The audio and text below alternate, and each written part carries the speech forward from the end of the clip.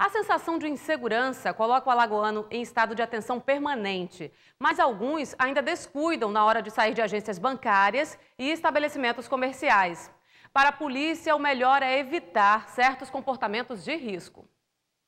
Neste estacionamento de supermercado, não vemos segurança privada.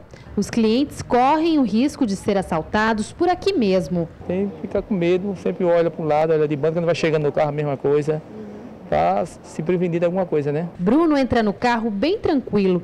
Ele já foi assaltado na porta de casa, mas confessa que muitas vezes está desatento. Descuida a gente mesmo. Na semana passada, esta quadrilha foi presa acusada de sequestrar uma mulher e o neto de um ano e seis meses. As vítimas estavam saindo de um banco. A mulher ainda foi molestada por um dos bandidos. Ela e a criança foram soltas horas depois.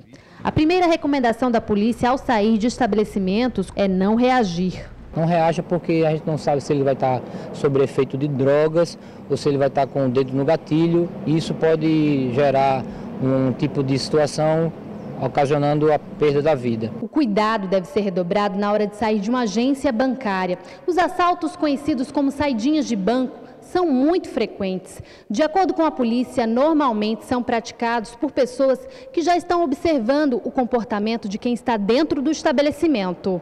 Sair com dinheiro na mão não é indicado. Wanderson diz que nem sempre está atento. É muito atento não, né? Mas não é muito segurança, mas é o jeito, né? Adelmo fica tenso ao sair de bancos.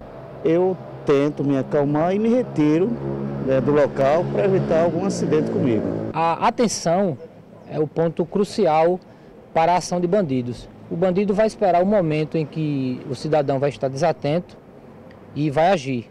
Para a Polícia Militar, que é responsável pelo policiamento em locais públicos, em lugares privados, o ideal é segurança particular. O trabalho da polícia realmente é para prevenir e também na, na, na rua ele para atuar no momento da ação. Mas como é um local privado, assim, geralmente a polícia tem que ter conhecimento após o fato.